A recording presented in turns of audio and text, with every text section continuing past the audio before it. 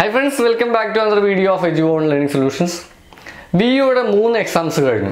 ആദ്യം നടന്നത് Thiruvananthapuram കോഴിക്കോടായിരുന്നു.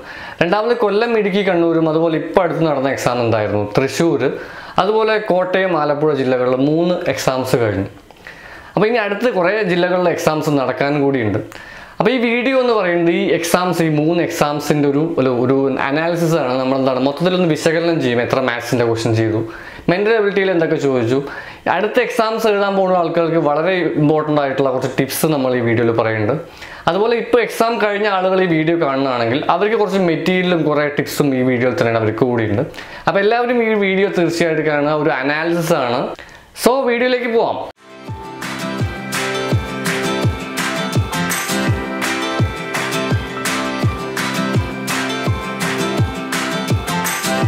Hi friends നമ്മൾ മൂന്ന് ജില്ലകളിലായിട്ട് ജൂൺ മാത്സ് ക്യാമ്പുകൾ നടക്കുന്നുണ്ട്.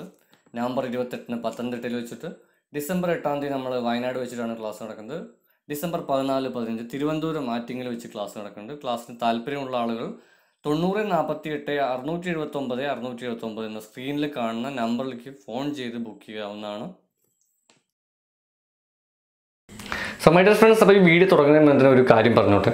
ഇതൊരു ക്വസ്റ്റ്യൻ വർക്കൗട്ടോ അല്ലെങ്കിൽ കുറേ ക്വസ്റ്റ്യൻസ് നിങ്ങളെ കൊണ്ട് പ്രാക്ടീസ് ചെയ്യിപ്പിക്കുന്ന ഒരു മാത്സിന്റെ വീഡിയോ അല്ല. നമ്മളിപ്പോൾ കഴിഞ്ഞ ഒരു മൂന്ന് കാറ്റഗറി ആയിട്ട് ജില്ലകൾ നേരത്തെ പറഞ്ഞ പോലെ എക്സാംസ് കഴിഞ്ഞപ്പോൾ എനിക്ക് മനസ്സിലായുള്ള കുറച്ച് കാര്യങ്ങളുണ്ട്. അതിൽ എത്ര മാത്സിന്റെ ചോദ്യങ്ങൾ ചോദിച്ചു മെന്റൽ എബിലിറ്റിയുള്ള കാര്യങ്ങൾ ചോദിച്ചിട്ടുണ്ട്. എന്തൊക്കെയാണ് എല്ലാ എക്സാംസിനും റിപ്പീറ്റഡ് ആയിട്ട് വരുന്നത്? ഇതേ പാറ്റേൺ ഫോളോ ചെയ്യാൻ ചാൻസ് ഉണ്ട് അടുത്തൊരു എക്സാംസ് രണ്ട് ജില്ലകളിലായിട്ട് രണ്ട് രണ്ട് പാറ്റേണായിട്ട് എക്സാം നടക്കാനുണ്ട്.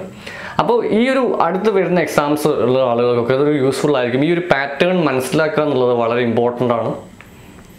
അപ്പോൾ തുടക്കത്തിൽ തന്നെ പറയുകയാണെങ്കിൽ ഇരുപത് മാത്സ് അല്ലെങ്കിൽ മെന്റൽ എബിലിറ്റി മാത്സും കൂടി ഇരുപത് ചോദ്യങ്ങളാണ്. ഇപ്പോൾ കഴിഞ്ഞ തിരുവനന്തപുരം കോഴിക്കോടായാലും കൊല്ലം ഇടുക്കി കണ്ണൂരായാലും തൃശ്ശൂർ ആലപ്പുഴ കോട്ടയായാലും ഇരുപത് ചോദ്യങ്ങളാണ് നിങ്ങൾക്ക് എല്ലാവർക്കും അറിയാം സിലബസിൽ പറഞ്ഞിട്ടുള്ളത്. അപ്പോൾ അതിൽ ഫസ്റ്റ് നമ്മൾ നടന്ന എക്സാം എന്ന് പറയുന്നത് എന്തായിരുന്നു? ട്രിവാൻഡ്രം കാലിക്കറ്റ് ആണ്. ഇതിൽ വന്നിട്ട് പതിനാല് മാത്സിലെ ചോദ്യങ്ങൾ ഉണ്ടായിരുന്നു ആറ് മെന്റൽ എബിലിറ്റിയിലെ ചോദ്യങ്ങൾ ഉണ്ടായിരുന്നു അപ്പോൾ നമുക്ക് മനസ്സിലായി ഇതിൽ തന്നെ ഏറ്റവും മെജോറിറ്റി ചോദ്യങ്ങൾ എന്താണ്? മാത്സ് ആണ്. കുറച്ച് മെന്റൽ എബിലിറ്റി ചോദ്യങ്ങളുണ്ട്. സെക്കൻഡ് എക്സാം കൊല്ലം ഇടുക്കി കണ്ണൂർ എടുക്കുകയാണെങ്കിലും പതിനഞ്ച് അഞ്ച് എന്ന രീതിയിലാണ്. പതിനഞ്ച് അഞ്ച്. പതിനഞ്ച് മാത്സും അഞ്ച് മെന്റൽ എബിലിറ്റി രണ്ടാമത് നമ്മൾ എന്താണ് പറയുക അടുത്തൊരു കാറ്റഗറി വരികയാണെങ്കിൽ പന്ത്രണ്ട് മാത്സിലെ ക്വസ്റ്റ്യൻസ് നമ്മൾ ഇപ്പോൾ അടുത്ത് നടന്നതായിരുന്നു തൃശ്ശൂർ ആലപ്പുഴ കോട്ടയം ജില്ലകളിൽ പന്ത്രണ്ടും എട്ടുമാണ് വന്നിരുന്നത്. അപ്പോൾ നമുക്ക് മനസ്സിലാക്കേണ്ട ഒരു പാറ്റേൺ എന്താണെന്ന് വെച്ച് കഴിഞ്ഞാൽ കൂടുതൽ മാത്സിലെ ക്വസ്റ്റ്യൻസ് ആണ് നമ്മൾ എന്താണ് കാര്യങ്ങൾ വരിക. ഒരു ഒരു എന്താ പറയുക പകുതിയിൽ ഒരു എട്ടിൽ പത്തിൽ താഴെയുള്ള മെന്റൽ എബിലിറ്റി ഒരു അഞ്ചോ ആറോ ഏഴോ ചോദ്യങ്ങളാണ് സ്ഥിരമായിട്ട് മെന്റൽ എബിലിറ്റിയിൽ ചോദിക്കാറുള്ളത്.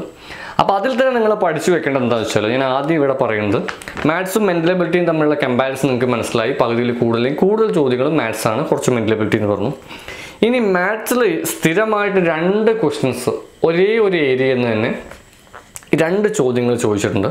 അപ്പോൾ നിങ്ങൾ മനസ്സിലാക്കേണ്ട തന്നെ നമ്മുടെ ഈ വീഡിയോയിൽ ചാനൽ സ്ഥിരമായിട്ട് നമ്മളെല്ലാ വർക്കൗട്ടിലും പറഞ്ഞ പോലെ എല്ലാ എക്സാമിനും ക്ലോക്കിന്റെ രണ്ട് ചോദ്യങ്ങൾ ചോദിച്ചിട്ടുണ്ട്. അപ്പോൾ ക്ലോക്ക് എന്നുള്ള ഭാഗം പഠിക്കുകയാണെങ്കിൽ നിങ്ങൾ മാത്സിൽ രണ്ട് മാർക്ക് കൺഫേം ആണ്. അപ്പോൾ നിങ്ങൾ ചെയ്യേണ്ട ഒരു കാര്യം എന്ന് വെച്ച് കഴിഞ്ഞാൽ ക്ലോക്കിൽ രണ്ടേ രണ്ട് കാര്യങ്ങളാണ് ഇതുവരെ ഇവർ ചോദിച്ചിട്ടുള്ളത് രണ്ട് പാറ്റേൺ ഒന്നെന്ന് പറഞ്ഞാൽ കോൺ അളവ് കണ്ടുപിടിക്കാൻ. ഇപ്പം നമ്മൾ എക്സാമിന് തന്നെ പലപ്പോഴും ചോദിക്കും എന്താണ് ഒരു പത്ത് പത്ത് ചോദിക്കാറുണ്ട്. കോൺ അളവ് ചോദിക്കാറുണ്ട്. സ്ഥിരമായിട്ട് നിങ്ങൾ തന്നെ കമന്റ് ചെയ്യണം ചോദ്യമാണ്. നമുക്ക് ചെയ്തു നോക്കാം അത് പത്തേ പത്ത് എങ്ങനെ വരിക എന്നുള്ളത്. അപ്പോൾ കോൺ അളവ് ചോദിക്കും മിറർ ഇമേജും കൂടി ചോദിക്കും. നിങ്ങൾക്ക് കൂടുതൽ വ്യക്തമാവണമെങ്കിൽ നിങ്ങൾ ഇവിടെ എന്ത് ചെയ്യണം? ഐ ബട്ടണിൽ ഇവിടെ ഒരു കാർഡ് എന്ന് പറഞ്ഞ ഓപ്ഷൻ ഉണ്ട് ഐ ബട്ടണിൽ ക്ലിക്ക് ചെയ്തിട്ട് കോൺ അളവ് കാണുന്ന വീഡിയോയും ചെയ്തു നോക്കുക. അതേപോലെ മിറർ ഇമേജിന്റെ വീഡിയോയും ചെയ്തു നോക്കുക. അപ്പോൾ നിങ്ങൾ മനസ്സിലായ പോയിന്റ് എന്താണ്? മൂന്ന് എക്സാമിനും രണ്ട് ചോദ്യങ്ങൾ വീതം ക്ലോക്ക് ചോദിച്ചിട്ടുണ്ടായിരുന്നു. അപ്പോൾ അതിൽ സ്ഥിരമായിട്ട് എല്ലാവരും ചോദിക്കുന്ന ചോദ്യമാണ്. എന്നോട് ഞാൻ റിപ്പീറ്റഡ് ആയിട്ട് ചോദിക്കുന്ന ചോദ്യമാണ് ലൈക്ക് ക്ലോക്കിലെ ചോദ്യത്തിൽ പത്തേ പത്ത് ചോദിക്കാറുണ്ട് പല ആളുകളും. ക്ലോക്കിന്റെ വീഡിയോ നമ്മളിവിടെ കംപ്ലീറ്റ് അല്ലെങ്കിൽ ക്ലോക്കിന്റെ വീഡിയോനെ കുറിച്ചുള്ള എല്ലാ കാര്യങ്ങളും നമ്മളിത് പറയുന്നില്ല. നിങ്ങൾ ഐ ബട്ടിൽ കണ്ടു നോക്കാമെന്ന് വിചാരിക്കുക ഈ പത്തേ പത്ത് അല്ലെങ്കിൽ ഒരു ക്ലോക്കിന്റെ വാല്യൂ ആൻസർ കണ്ടുപിടിക്കാൻ നമുക്ക് ഇക്വേഷന്റെ ആവശ്യമില്ല. നിങ്ങൾ എന്ത് ചെയ്താൽ മതി? സൂചികൾ തമ്മിലുള്ള വ്യത്യാസം എടുത്തു വയ്ക്കുക സൂചികൾ ഏതൊക്കെയാണ് പത്തേ പത്ത് എന്ന് പറയുമ്പോൾ നമുക്ക് തന്നെ അറിയില്ല. നമ്മൾ എപ്പോഴും ക്ലോക്ക് കാണുമ്പോൾ മനസ്സിലാവും. മണിക്കൂർ സൂചി പത്തിലാണ് മിനിറ്റ് സൂചി എവിടെ കിടക്കുന്നത്? രണ്ട് എന്നുള്ള നമ്പറിലല്ലേ? നമുക്ക് ഇക്വേഷന്റെ ആവശ്യമൊന്നുമില്ല നമ്മൾ ഈ നമ്പറുകൾ തമ്മിൽ കുറയ്ക്കുക എന്നുള്ളത് മനസ്സിലാക്കുക.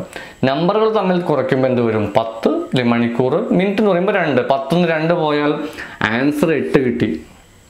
ആൻസർ എട്ട് കിട്ടി നമ്മൾ എന്ത് ചെയ്യണം? ഒരു മുപ്പത് കൊണ്ട് ഗുണിക്കുക. നമ്മുടെ വീഡിയോ ചാനൽ കണ്ട എല്ലാവർക്കും മനസ്സിലാവും. മുപ്പത് കൊണ്ട് ഗുണിച്ചിട്ട് എന്ത് ചെയ്യണം? എത്രയാണോ മിനിറ്റ് അതിന്റെ പകുതി പത്തല്ലേ? പത്തിന്റെ പകുതി അഞ്ച് എടുത്ത് വെച്ച ആൻസറായി നോക്കി ഇവിടെ. ഇരുന്നൂറ്റി നാൽപ്പത്തി അഞ്ച് എട്ട് മൂന്ന് ഇരുന്നൂറ്റി നാൽപ്പത്തി അഞ്ച് ആൻസർ കിട്ടി. ഇപ്പം നിങ്ങൾ മനസ്സിലാക്കേണ്ട വേറൊരു പോയിന്റാണ് നമ്മൾ ആ ഒരു വീഡിയോയിൽ പറഞ്ഞിട്ടുള്ള കാര്യം തന്നെയാണ്. വലിയ വലിയ ആൻസേഴ്സ് കിട്ടുന്ന സമയത്ത് ചിലപ്പോൾ അത് ഓപ്ഷനിൽ ഉണ്ടാവില്ല ഉത്തരം തെറ്റൊന്നുമല്ല. കാരണം നിങ്ങൾ എന്ത് ചെയ്താൽ മതി? വലിയ ഉത്തരം അതായത് നമ്മൾക്ക് കിട്ടുന്ന ഈ ഉത്തരം ഓപ്ഷനിൽ ഇല്ലെങ്കിൽ മാത്രം എന്ത് ചെയ്താൽ മതി? മുന്നൂറ്റി അറുപതിൽ നിന്ന് ടോട്ടൽ ആംഗിൾ മുന്നൂറ്റി അറുപതല്ലേ ഒരു ക്ലോക്ക് ആയാലും സർക്കിൾ ആയാലും മൊത്തത്തിൽ മുന്നൂറ്റി അറുപത് നിന്ന് ഇരുന്നൂറ്റി നാൽപ്പത്തി അഞ്ച് കുറച്ചാൽ മതി. എത്ര കുറയ്ക്കുമ്പോൾ വരിക? പതിനഞ്ച് കിട്ടും ഇരുന്നൂറ്റി നാൽപ്പത്തി അഞ്ചും അല്ലേ ഇരുന്നൂറ്റി അറുപത് നൂറ്റി പതിനഞ്ച് എന്ന് കിട്ടും. കുറച്ച് കഴിഞ്ഞാൽ ആൻസർ നിങ്ങൾക്ക് കിട്ടും. അപ്പോൾ നിങ്ങൾ മനസ്സിലാക്കേണ്ട ക്ലോക്കിലെ ഉത്തരം കിട്ടിയിട്ടില്ലെങ്കിൽ മാത്രം എന്ത് ചെയ്യണം? നമുക്ക് കിട്ടിയ മെത്തേഡൊക്കെ സെയിം തന്നെയാണ്. മുന്നൂറ്റി അറുപതെന്ന് വലിയ വാല്യൂ ആണെങ്കിൽ കുറയ്ക്കുക. സാധാരണ നൂറ്റി എൺപതിന് താഴെയുള്ള വാല്യൂസൊക്കെയാണ് ഓപ്ഷനിൽ ഉണ്ടാവുക. നിങ്ങൾ എല്ലാ ക്വസ്റ്റ്യൻ ചെയ്ത് നോക്കിയാൽ മനസ്സിലാവും. അപ്പോൾ നമുക്ക് മനസ്സിലായിട്ടുണ്ടെന്ന് വിചാരിക്കുന്നു ഈ ഒരു ക്വസ്റ്റ്യൻ കുറേ ആളുകൾ കമന്റ് ചെയ്യണോണ്ടാണ് ഞാനിപ്പോൾ ക്വസ്റ്റ്യൻ പറഞ്ഞത്. സ്ഥിരമായിട്ട് വരാറുണ്ട് എക്സാമിനൊക്കെ അപ്പോൾ രണ്ട് ചോദ്യങ്ങൾ നമ്മൾ എന്താണ് ഉറപ്പായിട്ടും നൂറ് അല്ലെങ്കിൽ ഒരു നയന്റി പെർസെന്റേജ് എനിക്ക് ഉറപ്പുള്ള കാര്യമാണ്. ക്ലോക്കിലെ എല്ലാ എക്സാമിനും എന്താണ്? രണ്ട് ചോദ്യങ്ങൾ മിറർ ഇമേജ് ആയാലും അതുപോലെ തന്നെ ക്ലോക്കിൽ ഇങ്ങനെ ആംഗിൾ കണ്ടുപിടിക്കാനുള്ള ചോദ്യങ്ങളും പഠിക്കുക. അത് കഴിഞ്ഞിട്ട് അതിന് ശേഷം നമുക്ക് എക്സാമിന് ചോദിച്ചിട്ടുള്ള ഒരു കൺഫേം ആയിട്ടുള്ള ക്വസ്റ്റൻ ആയിട്ട് പറയാം നമുക്ക് എന്താണ് ഡയറക്ഷണൽ നമുക്ക് എളുപ്പമാണ്. അപ്പോൾ നിങ്ങൾ എന്ത് ചെയ്യണം വെച്ചാൽ മാത്സ് ചെയ്തു വരുന്ന സമയത്ത് നിങ്ങൾക്ക് ഏതാണോ ആദ്യം എളുപ്പമുള്ളത് അത് ചെയ്യാം. മാത്സിൽ ആദ്യം തന്നെ നിങ്ങൾ കൂട്ടുപലിശയുടെ ക്വസ്റ്റ്യൻ കണ്ടു കഴിഞ്ഞാൽ അത് തന്നെ ഒന്ന് അറേഞ്ച് ചെയ്ത് സോർട്ട് ഔട്ട് ചെയ്ത് ചെയ്ത് നോക്കുക. എന്ത് ചെയ്താൽ മതി? ക്ലോക്ക് ആദ്യം ചെയ്ത് നോക്കുക. ക്ലോക്ക് എളുപ്പമല്ലേ? ക്ലോക്കിൽ തന്നെ ഒരു ക്വസ്റ്റൻ ഉണ്ടെങ്കിൽ അത് ചെയ്ത് നോക്കുക. ദിശാവബോധം കുറച്ചൊക്കെ എളുപ്പമാണല്ലേ? നോർത്തിൽ തെക്ക് വടക്ക് എന്നൊക്കെ നമ്മൾ അറിയാം. അപ്പോൾ ആ ക്വസ്റ്റ്യൻസ് കൂടി നമ്മൾ എന്താണ് ചെയ്ത് നോക്കി കഴിഞ്ഞാൽ രണ്ട് മാർക്ക് കൺഫേം ആയി. ആദ്യം തന്നെ നിങ്ങൾ അറ്റംപ്റ്റ് ചെയ്യേണ്ട ക്വസ്റ്റൻ എന്തായിരിക്കണം? നിങ്ങൾക്ക് എളുപ്പം കംഫർട്ട് നിങ്ങൾക്ക് കംഫർട്ടുള്ള ക്വസ്റ്റ്യൻസ് അറ്റംപ്റ്റ് ചെയ്യാം. ആദ്യം തന്നെ പോയിട്ട് എന്താണ് കോമ്പൗണ്ട് ഇൻട്രസ്റ്റും വലിയ വലിയ ഹൈ ലെവലിലുള്ള ക്വസ്റ്റ്യൻസ് ഒന്നും ചോദിക്കില്ല ചെയ്യേണ്ട ആവശ്യമില്ല. ജസ്റ്റ് നിങ്ങൾക്ക് അറിയണ ക്വസ്റ്റ്യൻസ് നിങ്ങൾ ആദ്യം ചെയ്തതിന് ശേഷം അടുത്ത് സ്ഥിരമായിട്ട് വരാറുള്ള നോക്കിയാൽ ബ്ലഡ് റിലേഷന്റെ ഒരു ക്വസ്റ്റ്യൻ വരാറുണ്ട്. നമ്മൾ കഴിഞ്ഞ വർക്കൗട്ടിലും പറഞ്ഞതാണ്. എല്ലാ എക്സാമിനും ഞാൻ ചോദിച്ചിട്ടുള്ളതാണ്. അതേപോലെ മനസ്സിലായത് ക്ലോക്കിന്റെ രണ്ട് ചോദ്യം ചോദിച്ചിട്ടുണ്ടായിരുന്നു. ഡയറക്ഷൻ ദിശാവബോധം ബ്ലഡ് റിലേഷനും ഇതേപോലെ എന്തായിരുന്നു? സീരീസ് നമ്പർ സീരീസ് ഒക്കെ നമുക്ക് എളുപ്പമുള്ളതാണ്. അപ്പോൾ ആദ്യം നിങ്ങൾ ചെയ്യേണ്ട നമ്പർ സീരീസ് ഒക്കെ ആദ്യം ചെയ്ത് നോക്കുക. നമുക്കൊരു മാർക്ക് കിട്ടിക്കഴിഞ്ഞാൽ നമുക്കൊരു കോൺഫിഡൻസ് ആണ്. അപ്പോൾ നമ്പർ സീരീസ് ഒക്കെ സ്ഥിരമായിട്ട് വരും. അത് ചെയ്ത് നോക്കുക. പിന്നെ നിങ്ങൾ പഠിച്ചു വെക്കേണ്ട ഒറ്റയാനെ കണ്ടുപിടിക്കാൻ എപ്പോഴും ചോദിക്കേണ്ടതാണ് ഈ പ്രൈം നമ്പറിന്റെ ചോദ്യങ്ങളൊക്കെ ചോദിക്കാറുണ്ട് അല്ലേ? ഒറ്റയാനെ കണ്ടുപിടിക്കാൻ. അപ്പോൾ പ്രൈം നമ്പറിന്റെ ജസ്റ്റ് ഒന്ന് മനസ്സിലാക്കി വെച്ചാൽ മതി എന്താ പ്രൈം നമ്പർ കാര്യങ്ങളൊക്കെ പഠിച്ചു വെക്കുക. അപ്പോൾ ഇത്രയും കാര്യങ്ങളാണ് മെന്റൽ എബിലിറ്റിയിൽ ചോദിച്ചിട്ടുള്ളത്. പിന്നെ അതുമാത്രമല്ല കലണ്ടർ അല്ലേ? എനിക്ക് തോന്നുന്നത് ഫസ്റ്റ് തിരുവനന്തപുരം കോഴിക്കോട് കലണ്ടർ ചോദിച്ചിട്ടുണ്ടായിരുന്നു. ഇപ്പോൾ ഈ അടുത്ത് ഇന്നലെ തൊട്ടടുത്ത് എക്സാം നടന്ന സമയത്ത് എന്തായിരുന്നു? ആ ഒരു എക്സാംസിന് ഇപ്പോൾ നമ്മൾ തൊട്ടടുത്ത് നടന്ന തൃശ്ശൂർ അല്ലേ ആലപ്പുഴയൊക്കെയാണ്. അല്ലേ വളരെ എളുപ്പമുള്ള കലണ്ടറിലെ ക്വസ്റ്റൻ ആണ്. അപ്പോൾ സ്ഥിരമായിട്ട് ചോദിച്ചത് ക്ലോക്കാണ് നമുക്ക് മെന്റൽ എബിലിറ്റിയിൽ പറയാം. കലണ്ടർ അല്ലേ ചോദിക്കാൻ ചോദിക്കാതിരിക്കാനുള്ള ചാൻസസ് ഒക്കെ ഉണ്ട്. അപ്പോൾ നിങ്ങൾ മനസ്സിലാക്കുക ഇത്രയും കാര്യങ്ങൾ നിങ്ങൾ കൃത്യമായിട്ടൊരു പോയിന്റ് ഓഫ് വ്യൂ മനസ്സിലാക്കുക. നമുക്ക് അടുത്ത മാത്സിൽ എന്തൊക്കെയാണ് ചോദിച്ചിട്ടുള്ളത്? മാത്സിലെ ചില ടിപ്സ് ഞാൻ പറഞ്ഞുതരാം. അത് മാത്രമല്ല നിങ്ങൾ എന്ത് ചെയ്യണം വെച്ചാൽ തീർച്ചയായിട്ടും നമ്മളൊരു മെറ്റീരിയൽ നിങ്ങൾക്ക് പ്രൊവൈഡ് ചെയ്യുന്നുണ്ട്. ഈ വീഡിയോ കാണുന്ന എല്ലാവർക്കും. ക്ലോക്കാണല്ലേ നമ്മൾ രണ്ട് ക്വസ്റ്റ്യൻ ചോദിക്കേണ്ടത്? ക്ലോക്കിന്റെ ഒരു മെറ്റീരിയൽ നിങ്ങൾക്ക് പ്രൊവൈഡ് ചെയ്യും. മെറ്റീരിയൽ നമ്മൾ കൊടുക്കേണ്ടത് നമ്മൾ ടെലിഗ്രാം ചാനലിലൂടെയാണ്. നമ്മളൊരു ക്ലോക്കിന്റെ കംപ്ലീറ്റ് എല്ലാ ക്വസ്റ്റൻ ഉണ്ടാവും ക്വസ്റ്റൻ ആൻസറും ഉണ്ടാവും. ടെലിഗ്രാം ചാനൽ നിങ്ങൾ ജോയിൻ ചെയ്ത് കഴിഞ്ഞാൽ ക്ലോക്കിന്റെ ഒരു മെറ്റീരിയൽ ഇന്ന് തന്നെ അപ്ലോഡ് ചെയ്യും. ടെലിഗ്രാം ചാനൽ കുറേ ആളുകൾ താഴെ ലിങ്ക് ഉണ്ട്. താഴെ ലിങ്കിൽ ഡിസ്ക്രിപ്ഷനിൽ ക്ലിക്ക് ചെയ്തിട്ട് ജോയിൻ ചെയ്യാൻ നോക്കുമ്പോൾ പറ്റുന്നില്ല എന്ന് പറഞ്ഞ ആളുകൾ എന്ത് ചെയ്താൽ മതി. ടെലിഗ്രാം എന്ന് പറഞ്ഞ ആപ്ലിക്കേഷൻ ഡൗൺലോഡ് ചെയ്തിട്ട് നിങ്ങൾ എന്ത് ചെയ്താൽ മതി. നമ്മളൊരു പേര് നിങ്ങൾക്ക് അറിയാലോ E D U on E D U on search ചെയ്യുക. Edu on E D U on search ചെയ്ത് ജോയിൻ ചെയ്ത് കഴിഞ്ഞാൽ നിങ്ങൾക്ക് ആവശ്യമുള്ള ക്ലോക്കിന്റെ കംപ്ലീറ്റ് ഒരു ഫുൾ ഒരു പത്ത് പതിനഞ്ച് ക്വസ്റ്റനോളം ഉണ്ട്. ഞാൻ ടെലിഗ്രാം ചാനൽ അപ്ലോഡ് ചെയ്യും തീർച്ചയായിട്ടും നിങ്ങൾ ഡൗൺലോഡ് ചെയ്ത് പ്രാക്ടീസ് ചെയ്ത് പഠിക്കുക. അപ്പോൾ നിങ്ങൾക്ക് എല്ലാവർക്കും ടെലിഗ്രാമിൽ ജോയിൻ ചെയ്ത ആളുകൾക്ക് മെറ്റീരിയൽ കിട്ടിയിട്ടുണ്ടാവും എന്ന് വിചാരിക്കുന്നു. അപ്പോൾ നിങ്ങൾ എന്ത് ചെയ്യണമെന്ന് വെച്ചാൽ അടുത്ത ഒരു മാത്സിന്റെ ഏരിയ ആണല്ലോ നമ്മൾ ഇനിയിപ്പോൾ അടുത്ത് പഠിക്കാനുള്ളത്. മാത്സിൽ എന്തൊക്കെ ചോദിച്ചു അല്ലെങ്കിൽ റിപ്പീറ്റ് ആയിട്ട് ചോദിച്ച ഒരു കാര്യമാണ്. നമ്പർ സിസ്റ്റത്തിന് സ്ഥിരമായിട്ട് ചോദ്യം വരാറുണ്ട്. നമ്പർ സിസ്റ്റത്തിൽ പല ടൈപ്പിലൊക്കെ ചോദ്യങ്ങൾ വരാറുണ്ട്. അപ്പോൾ അതിൽ ഞാനൊരു രണ്ട് മൂന്ന് ക്വസ്റ്റ്യൻ സ്ഥിരമായിട്ട് റിപ്പീറ്റ് ആയിട്ട് വന്നിട്ടുള്ള ഒരു മൂന്ന് ക്വസ്റ്റ്യന്റെ കാര്യങ്ങൾ ടിപ്സ് പറഞ്ഞുതരും. അതിപ്പോൾ നിങ്ങൾ മനസ്സിലാക്കണം നോക്കി നമ്പർ സിസ്റ്റിൽ ആദ്യം നിങ്ങൾ മനസ്സിലാക്കി വെക്കേണ്ട സ്ഥിരമായിട്ട് രണ്ട് കേസ് ഈ രണ്ട് ചോദ്യങ്ങൾ ചോദിച്ചിട്ടുണ്ടായിരുന്നു. എണ്ണൽ സംഖ്യയുടെ തുക ചോദിച്ചിട്ടുണ്ടായിരുന്നു ഒറ്റ സംഖ്യയുടെ തുകയും ചോദിച്ചിട്ടുണ്ട്. അപ്പോൾ ഇങ്ങനെ മനസ്സിലാക്കണം എന്താണ്? എണ്ണൽ സംഖ്യയുടെ തുക കണ്ടുപിടിക്കണം ഇരട്ട സംഖ്യയുടെ തുക കണ്ടുപിടിക്കണം ഒറ്റ സംഖ്യ. ഇത് മൂന്നും നിങ്ങൾ പഠിച്ചു വെക്കുക. ഇതിപ്പോൾ ഈ ഒരു എക്സാംസ് അടുത്ത വി ഒയുടെ എക്സാംസിന് ചാൻസസ് ഉണ്ട്. ഇനിയിപ്പോൾ ഇതില്ലാന്നുണ്ടെങ്കിൽ നമുക്ക് എന്താണ് എൽ ഡി സി എക്സാമിന് നമുക്ക് ഒരു ആവശ്യമുള്ള ഭാഗം തന്നെയാണ്. ഇത് എണ്ണൽ സംഖ്യ കൂട്ടാൻ വേണ്ടി നോക്കിയേ. ഒന്ന് രണ്ട് മൂന്ന് നാൽപ്പത് വരെ കൂട്ടാൻ നമുക്ക് പണ്ട് എസ് എൽ സിയിൽ N into N plus one by two പഠിച്ചിട്ടുണ്ട്. N into N plus one by two ചെറിയ ക്ലാസ്സിൽ പഠിച്ചതാണ് നമുക്ക് ഓർമ്മയുണ്ട്. നാൽപ്പത് എണ്ണമാണെങ്കിൽ നാൽപ്പത് ഇന്റു നാൽപ്പത്തൊന്ന് ഇക്വേഷൻ പഠിച്ചില്ലെങ്കിൽ എത്ര എണ്ണമാണോ അതിനെക്കാട്ട് ഒന്ന് കൂട്ടുക ബൈ ടു എടുത്താൽ ആൻസർ ആയി. നമുക്ക് എത്ര ആൻസർ വരും അവിടെ? എണ്ണൂറ്റി ഇരുപത് വരും. തൽക്കാലം നിങ്ങൾ മനസ്സിലാക്കുക ഞാൻ പെട്ടെന്ന് ചെയ്തതാണ്. എണ്ണൂറ്റി ഇരുപത് വരും. നാൽപ്പത് ഇന്റു നാൽപ്പത്തൊന്ന് N into N plus one by two അല്ലേ? നിങ്ങൾ ഈ ബൈ ടു താഴെയുള്ളത് മായ്ച്ചു കളഞ്ഞു എന്ന് വിചാരിക്കുക. അതായത് N into N plus one by two ഒരേ ഒരു ഇക്വേഷൻ നമ്മൾ പഠിച്ചുള്ളൂ. എസ് എൽ സിയിൽ പണ്ടേ പഠിച്ചതാണ്. ബൈ ടു ഒഴിവാക്കിയ എന്തായി? N into N plus one. അപ്പോൾ N into N plus one എന്ന് പറഞ്ഞാൽ ഒന്നുമില്ല. ഒരു നമ്പറിനെക്കാട്ടിലും ഒന്നുകൂടി കൂടിയിട്ട് തമ്മിൽ മൾട്ടിപ്ലൈ ചെയ്യുക. അത് എപ്പോഴാണ് ചോദിക്കുക എന്ന് വെച്ച് കഴിഞ്ഞാൽ ഇത് മനസ്സിലാക്കി വെക്കുക. രണ്ട് നാല് ആറ് എട്ട് അല്ലേ? പത്ത് പന്ത്രണ്ട് നാൽപ്പത് വരെ പ്ലസ് ചെയ്യണം. ഇരട്ട സംഖ്യകളുടെ തുകയാണെങ്കിൽ ഈ ബൈ ടു ഒഴിവാക്കി N into N plus one മാത്രം എടുക്കുക. എത്ര എണ്ണം ഉണ്ടോ അതിനെക്കാട്ടിലും ഒന്ന് ഗുണിക്കുക. പല ആളുകൾ തെറ്റിച്ച് വെക്കുന്ന ഒരു സംഭവമാണ് നാൽപ്പത് ഇന്റു നാൽപ്പത്തൊന്ന് കാരണം നമ്മളിവിടെ നാൽപ്പത് ഇന്റു നാൽപ്പത്തൊന്ന് ബൈ രണ്ടെടുത്തു അപ്പം നാൽപ്പത് പക്ഷേ ഇവിടെ നാൽപ്പത് എടുക്കാൻ പറ്റുമെന്നാണ് ചോദ്യം നാൽപ്പത് എണ്ണം ഉണ്ടോ ഇവിടെ ഇല്ല. നാൽപ്പത് എണ്ണം ഉണ്ടാവില്ല. എന്തുകൊണ്ടാണ്? ഇരട്ട സംഖ്യകൾ മാത്രമേ എടുക്കുന്നുള്ളൂ. ഇവിടെ താഴെ ഉണ്ടാവും ഒറ്റ സംഖ്യ നോക്കിയാൽ ഒന്ന് മൂന്ന് അഞ്ച് ഏഴ് മുപ്പത്തൊമ്പത് എടുക്കുമ്പോൾ നാൽപ്പത് ഒറ്റ സംഖ്യ ഉണ്ടോ? ഈ രണ്ട് കേസിലും നാൽപ്പതല്ല ആ എണ്ണം എന്ന് മനസ്സിലാക്കി വെക്കുക. എത്ര എണ്ണം ഉണ്ടാവും എന്ന് വെച്ചാൽ എപ്പോഴും നിങ്ങൾ മനസ്സിലാക്കേണ്ടത് പകുതി എണ്ണമായിരിക്കും ഒറ്റയും ഇരട്ടിയും എപ്പോൾ വരെ പറയുകയാണെങ്കിൽ ഒരു എന്താണ് പകുതിയാക്കാൻ പറ്റുന്ന സംഖ്യ. നമ്മളോടിപ്പോൾ പറയുകയാണ് നാൽപ്പതിൽ എത്ര ഒറ്റയും ഇരട്ടിയുണ്ട് ഇരുപത് ഒറ്റയും ഇരുപത് ഇരട്ട സംഖ്യ ഉണ്ടാവും.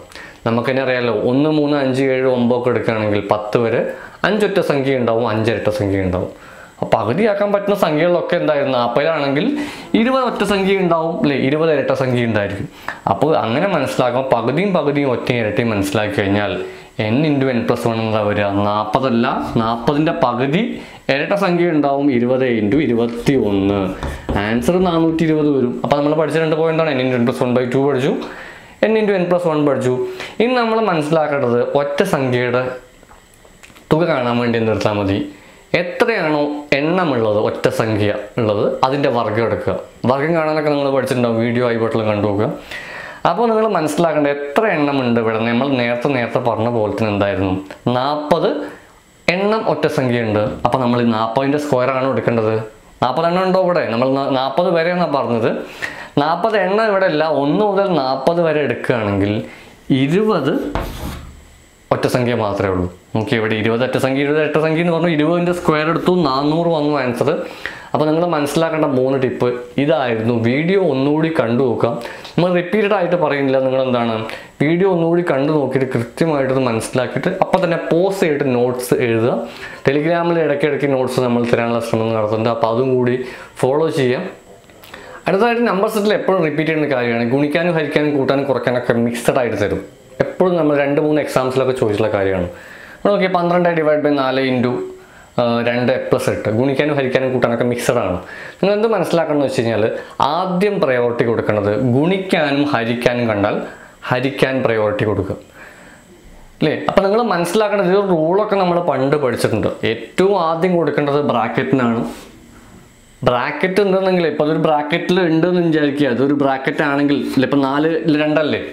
നാല് ഇന്റു രണ്ട് ഒരു ബ്രാക്കറ്റിലായിരുന്നെങ്കിൽ അത് ആദ്യം പ്രയോറിറ്റി കൊടുക്കണമായിരുന്നു. ഇപ്പോൾ ഇവിടെ ബ്രാക്കറ്റ് ഇല്ലാത്തതുകൊണ്ട് നമുക്ക് എന്ത് പറയാം ഇവിടെ? ബ്രാക്കറ്റ് ഇല്ലെങ്കിൽ പിന്നെ ഓഫിനാണ് പ്രാധാന്യം കൊടുക്കേണ്ടത്. ഇവിടെ നോക്കി ഇവിടെ ഓഫ് ഉണ്ട് എന്ന് വിചാരിക്കുക. ഇവിടെ ഓഫ് ടു ആയിരുന്നെങ്കിൽ എന്ത് നമുക്ക് പറയാം? ഹരിക്കാനും ഓഫ് ഉണ്ട് ഡിവിഷനും ഉണ്ട് ഓഫ് ഉണ്ട്. അല്ലെ? ബോർഡ് മാസം എന്തൊക്കെയാണ്? ബ്രാക്കറ്റ് ഓഫ് ഡിവിഷൻ മൾട്ടി ഇതൊരു ഓർഡറാണ് ആദ്യം ഇത് അതില്ലെങ്കിൽ ഇത് അങ്ങനെയാണ്. ഇപ്പൊ ഇവിടെ നോക്കിയേ ഹരിക്കാനും ഡിവിഷനും ഓഫ് ഉണ്ട്. അപ്പൊ ഡിവിഷനെക്കാട്ടും മുകളിലല്ലേ ഓഫ് അപ്പോൾ ആദ്യം ഓഫ് ചെയ്യുക. പക്ഷേ ഇവിടെ ഓഫും ഇല്ലെങ്കിൽ അതിന് ബ്രാക്കറ്റ് ഉണ്ടെങ്കിൽ ആദ്യം പ്രയോറിറ്റി കൊടുക്കുക ഇല്ലെങ്കിൽ ഓഫ് കൊടുക്കുക. നമ്മൾ എന്തായാലും വീഡിയോ ചെയ്യാനെ പറ്റി സെപ്പറേറ്റ് ഡിവിഷൻ ഡിവിഷൻ ഉണ്ടെങ്കിൽ അതിനാണ് ആദ്യം നോക്കി ഇതിലിപ്പോൾ എന്തൊക്കെയുള്ളത് ഇതൊന്നും ഇല്ലല്ലോ ഇവിടെ. ബ്രാക്കറ്റും ഓഫും ഇല്ല എന്ന് മനസ്സിലാക്കി. അപ്പം നമ്മളിതിൽ എന്താ ഉള്ളത്? ഡിവിഷൻ ആദ്യം ഉണ്ട്. പിന്നെ മൾട്ടിപ്ലിക്കേഷൻ അഡീഷൻ സബ്സ്ട്രാക്ഷൻ അപ്പോൾ ആദ്യം നമ്മൾ മനസ്സിലാക്കേണ്ടത് ഡിവിഷന് പ്രാധാന്യം കൊടുത്തിട്ട് പിന്നെ ചെയ്താൽ മതി. പന്ത്രണ്ട് നാല് ആദ്യം ഹരിച്ചു നോക്കി. മൂന്ന് വന്നു പിന്നെ ഇന്റു പ്ലസ് രണ്ട് അല്ലേ? ഇത് ചെയ്താൽ മതി. മൂന്ന് രണ്ട് ആറും എട്ടും പതിനാലും. വളരെ എളുപ്പമുള്ള ഒരു കാര്യമാണ് നിങ്ങൾ മനസ്സിലാക്കി വെക്കേണ്ട നമ്പർ സെറ്റിൽ ഒരു പോയിന്റാണ് അടുത്ത നിങ്ങൾക്കൊരു വർക്കാണ് ഞാൻ തരാൻ പോകുന്നത്. നിങ്ങൾ വീട്ടിൽ ഇപ്പോൾ ചെയ്യേണ്ട ഒരു വർക്കാണ് നമ്മൾ നമ്പർ സിസ്റ്റം കഴിഞ്ഞ് കഴിഞ്ഞാൽ അടുത്ത് സ്ഥിരമായിട്ട് ചോദിക്കുന്ന രണ്ട് മൂന്ന് ഏരിയാസ് ആണ്. പേഴ്സന്റേജിന് ചോദ്യം വരും. ഈ പേഴ്സന്റേജിനെയാണ് പ്രോഫിറ്റ് ലോസ് ആയിട്ട് ചോദിക്കുക. കൂട്ടുപലിശയും ചോദിക്കുക. അപ്പോൾ ഈ മൂന്ന് ഏരിയ പഠിക്കാനുള്ള ഒരു വർക്ക് ഞാൻ തരാം.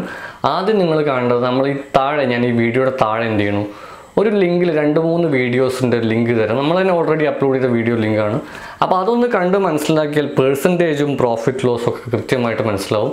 പേഴ്സന്റേജ് പഠിച്ചു കഴിഞ്ഞാൽ മാത്രമേ ഈ പ്രോഫിറ്റ് ലോസും കൂട്ടുപലിശയും ഇല്ല? സാധാരണ പലിശയുടെ കാര്യങ്ങളൊക്കെ സ്ഥിരമായിട്ട് ചോദിക്കാറുണ്ട്. അപ്പോൾ അത് നിങ്ങൾ ഇപ്പം തന്നെ കൃത്യമായിട്ട് കണ്ടുവച്ചിട്ട് നോട്ട് കൃത്യമായിട്ട് എഴുതി വെക്കുക എന്നുള്ളതാണ്. അപ്പോൾ നമ്മൾ പറഞ്ഞു വന്ന മാത്സിലെ കാര്യങ്ങളായിരുന്നു. മാത്സിൽ നമ്പർ സിസ്റ്റത്തിലെ കുറച്ച് കാര്യങ്ങൾ പറഞ്ഞു.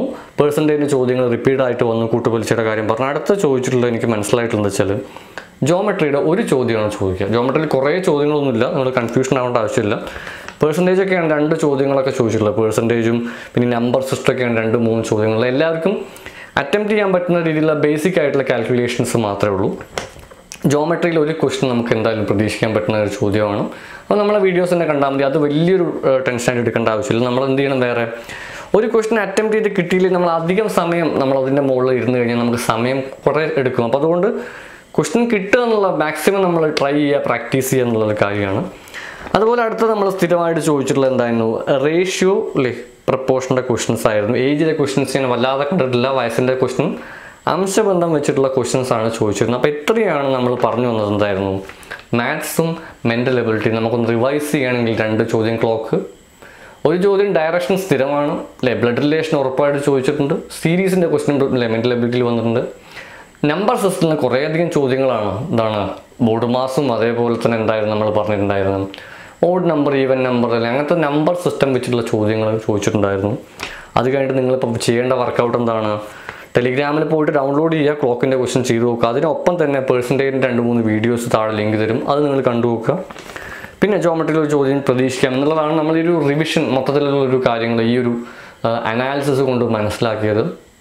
അവസാനമായിട്ടൊന്ന് പറഞ്ഞുകൊണ്ട് നമ്മൾ എന്താണ് പൊതുവെ നമ്മളിപ്പോൾ പറഞ്ഞ ഡിസ്കസ് ചെയ്ത എല്ലാ കാര്യങ്ങളും നമ്മൾ ആറാം ക്ലാസ്സിലോ ഏഴാം ക്ലാസ്സിലോ എട്ടാം ക്ലാസ്സിലോ പഠിച്ച കാര്യങ്ങളാണ്. ഇത് വലിയ റോക്കറ്റ് സയൻസ് അല്ലെങ്കിൽ വലിയ വലിയ എന്താ പറയുക ഡിഗ്രിക്കോ പി ജി അല്ലെങ്കിൽ വലിയ സംഭവമൊന്നുമല്ല മാത്സിൽ എല്ലാം ബേസിക് ആയിട്ടുള്ള കാൽക്കുലേഷൻ കാര്യങ്ങൾ നമുക്കൊക്കെ അറിയാവുന്ന കാര്യം തന്നെയാണ്. പണ്ടേ പഠിച്ചിട്ടുള്ളതാണ്. ആ ഒരു മൈൻഡ് സെറ്റോടു കൂടി അടുത്ത എക്സാംസ് എഴുതാൻ നമുക്ക് എന്താണ്? അടുത്ത എൽ ഡി സിയുടെ എക്സാംസ് പല പല എക്സാംസ് ഒക്കെ ഉണ്ടാവും. അപ്പോൾ അങ്ങനെ ഒരു മൈൻഡ് സെറ്റ് കീപ്പ് ചെയ്യുക എന്നുള്ളതാണ് ഏറ്റവും പ്രധാനപ്പെട്ട ഒരു കാര്യം ഇല്ലെങ്കിൽ നമുക്കൊരു പ്രയാസമാണ്. എക്സാമിന് ക്വസ്റ്റ്യൻ കാണുമ്പോൾ തന്നെ. നിങ്ങൾ പറയും. ഇത് പറ്റില്ല എന്നെ കൊണ്ട് പറ്റില്ല എന്ന് വിചാരിച്ചു കഴിഞ്ഞാൽ ക്വസ്റ്റിന് ആൻസർ ചെയ്യാൻ പറ്റില്ല. അപ്പോൾ ആ ഒരു മൈൻഡ് സെറ്റ് അല്ല എനിക്ക് പണ്ടുണ്ടായിരുന്നു ഞാൻ സ്റ്റാർട്ട് ചെയ്ത സമയത്ത്. അത് വെച്ചിട്ട് നമ്മൾ അറ്റംപ്റ്റ് ചെയ്യുമ്പോൾ എനിക്ക് കിട്ടില്ല. അപ്പോൾ അത് മാറ്റിയതിന് ശേഷമാണ് മാത്സ് എളുപ്പമായി തുടങ്ങിയത് നമ്മൾ ഇഷ്ടപ്പെട്ട് തുടങ്ങിയത്. അപ്പോൾ എന്തായാലും തീർച്ചയായിട്ടും നിങ്ങൾ ഇഷ്ടപ്പെട്ട് തുടങ്ങുമെന്ന് വിചാരിക്കുന്നു. ഈ മാത്സ് എന്നുള്ള ഒരു ഏരിയ നിങ്ങൾ മാത്സ് സ്കോർ ചെയ്യുക. So friends be happy thank you for watching and see you later